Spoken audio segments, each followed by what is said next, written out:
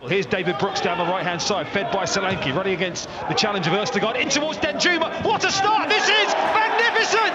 25 seconds! We knew Danjuma was on fire. Goodness me! 25 seconds is all it's taken for the Cherries man of the moment to have another impact.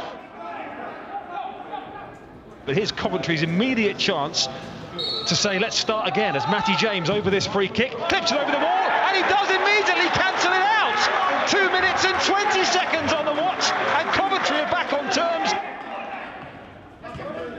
Bournemouth have done well, and it's Lerma who knocks it to the left, and here's Danjuma on the move again against Pask.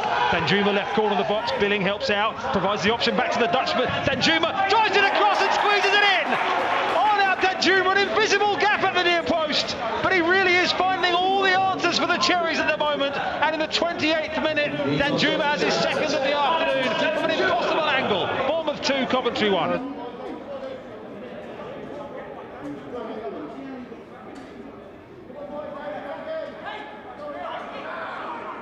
Here's Danjuma now, trying to take on Jordan Thompson. He just breezes past Jordan Thompson. Danjuma left side of the area. Solanke makes the run in towards the near post. It might reach Brooks. It does reach Brooks. And that is the breathing space that the Cherries have been looking for.